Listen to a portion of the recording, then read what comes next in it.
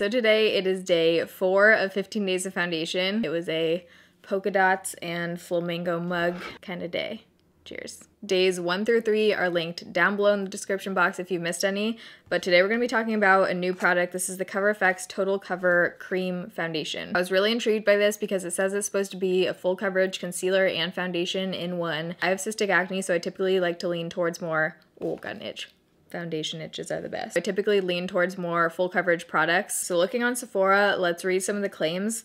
This product comes in 40 shades, which is incredible. I always appreciate Cover FX's shade range. They pretty much have a shade for anyone. They have a really great shade system as well. If you look on the product page on Sephora, they kind of break it down for you. They have different undertones. I actually went with the shade G10. In the Cover FX pigment drops, I'm in the shade N10. The description of G10 says porcelain to light skin with golden undertones.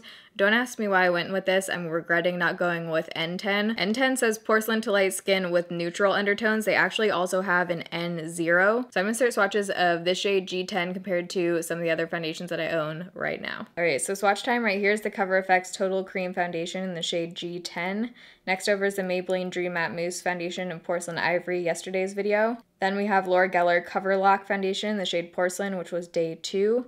Natasha Denona Foundation X in the shade 10, Dermacol 208, which is a really good shade match for me, Tarte Rainforest of the Sea in the shade Porcelain, Maybelline Fit Me Matte and Poreless in 110, and Pure Cosmetics Bare Doll Foundation in the shade Porcelain. So this product retails for $42 and you get 0.42 ounces of product. So you don't get a full ounce of product, but this is a cream solid product. To give you some comparison, the IT Cosmetics Confidence in a Compact Foundation, which I also have a review on, that retails for $38 and you get 0.63 ounces of product. It says it's an antioxidant rich cream foundation and concealer in one that provides radiant full coverage. It contains 32% pigment for long wearing full coverage, loaded with emollients and antioxidants, radiant second skin finish, creamy ultra blendable texture, that has also made this foundation a cult favorite for contouring. This is a new product, so I'm not entirely sure how this is a cult favorite self-proclaimed cult favorite. It says it's supposed to be for dry to normal skin on the Cover FX website. I have oily combination skin,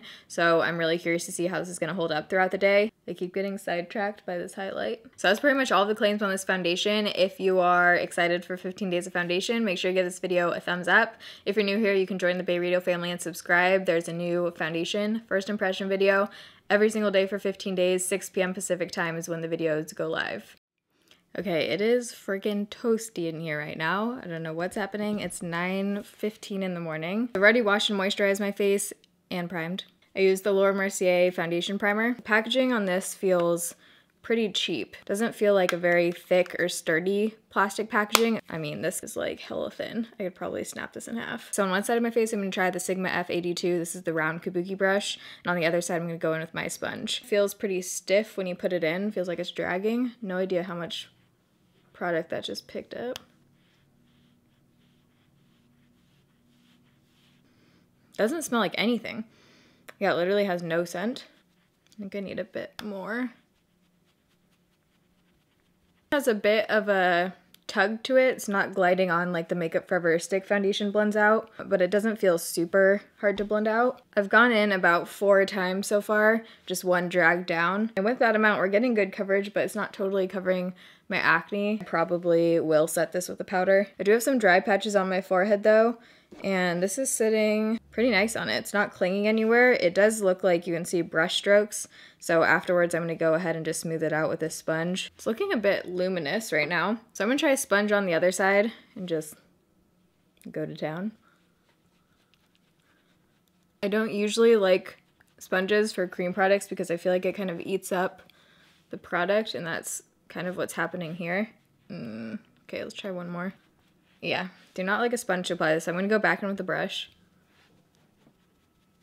Yeah, way better coverage with the brush and the product just goes a lot farther. Okay, why does it feel like it's a sauna in here? The shade is a little bit off. Um, I think I could have gone with N10. It's looking a bit yellow, but once I warm up my face with blush and bronzer and stuff, I think it'll be fine. Looking at my chest, my chest definitely has more pink in it than my face right now. So I'm gonna go ahead and actually just use my finger to try and spot conceal. It does say this is a foundation and concealer in one. And just focus that on some of my more pigmented spots. I don't know, man. My Scarring is still coming through, even spot concealing on a second layer. It is building, but it's not total, total cover. I wouldn't say this is like dermacol kind of coverage, but it is full coverage.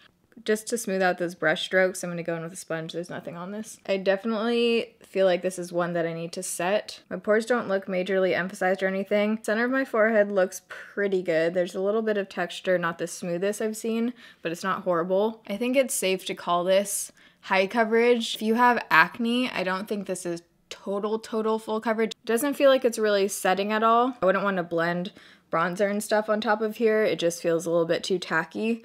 So I'm going to apply the rest of my makeup, figure out which setting powder I want to use, and I will be right back right now. What time is it? Right now it's 9.27. So it's now 9.54, so we're going to call the check-in time 10 o'clock. I don't know. There's something about this I'm not totally loving. I'm like sitting on my shirt right now. The shade aside, it just kind of looks like an average medium to high coverage foundation to me. The more that it's on my skin, if you have acne, it's just not totally covering it. I did powder my face, by the way. I used the Cover FX illuminating setting powder because this one typically has more of a pink tone to it, so I thought it would help to kind of neutralize out the yellow. My forehead now with the powder does look a bit dry, but around my pores it looks good. It looks smooth everywhere else. I also feel like I have a lot of makeup on right now. I don't know. I'm just not very wowed by this at this point. Maybe it's one of those that gets better as it wears throughout the day and kind of warms up to your skin. So on the rest of my face, as a bronzer, I use the Cover FX using a lot of Cover FX today.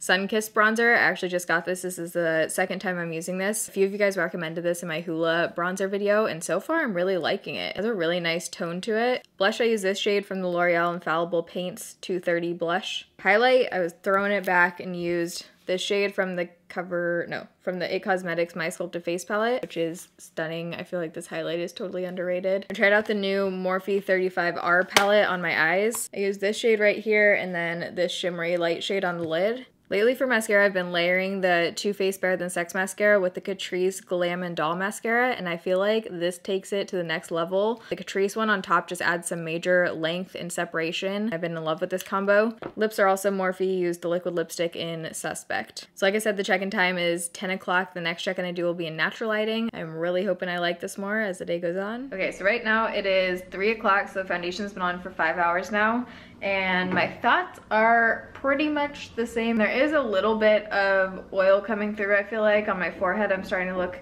a bit dewy and around my nose. So getting up close, there's a tiny bit of creasing starting to happen around the nose area. It just looks kind of heavy around there. And it's starting to crease on my upper lip a little bit as well. Center of my forehead doesn't look bad right now. They're like redoing my neighbor's flooring right now, so hopefully you guys can't hear that drilling. When you get really up close, there is some almost pilling happening down here.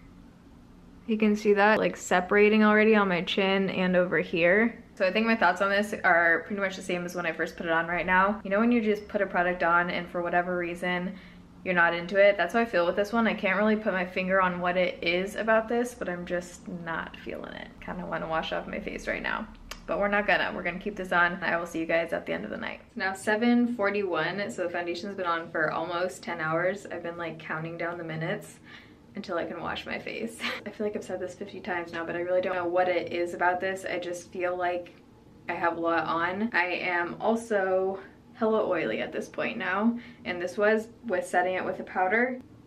We're getting real close right now, but as you can see, very oily around my nose area. My pores don't look great. Kicking up around my upper lip, around my nose on both sides. There's definitely some separation on my forehead, but the separation isn't the major issue on my forehead. I just feel like I'm very oily. I'm thinking this one might be better for dry skin. So for me, this one overall is a pass. Even if you have dry skin, I don't know. I think there are probably better foundations out there for you. Hopefully day, what is today, day four? Hopefully day five will be better. So if you guys like this video and you're excited for tomorrow's video, make sure you give it a thumbs up. Love you guys. Thanks for watching. See you tomorrow. Bye.